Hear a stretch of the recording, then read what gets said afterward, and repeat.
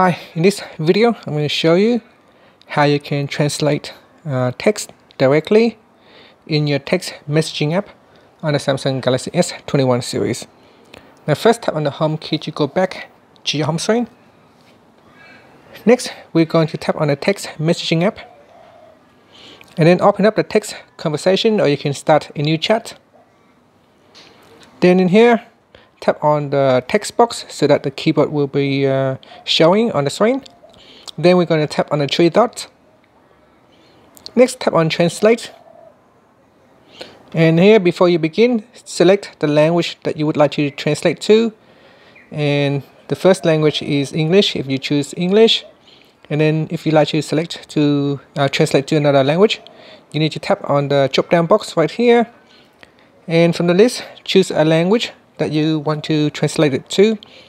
You can see the list is quite big, so you can choose amongst the many different language. So I'm going to choose, let's say, um, we'll just choose one. So it doesn't really matter which one, I guess, Portuguese. And then type in the text.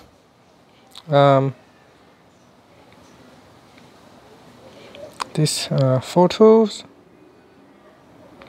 is looking great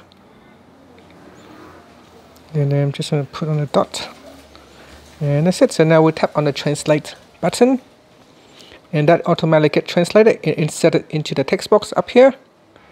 And once you're happy you can tap on the drop down on the um, on the down key. And here you can see in the text box we've got the text that has been translated to.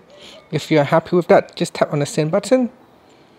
And that's how you can uh, uh, quickly translate text within your text messages without having to go to another website trying to translate text and then copy it back in here.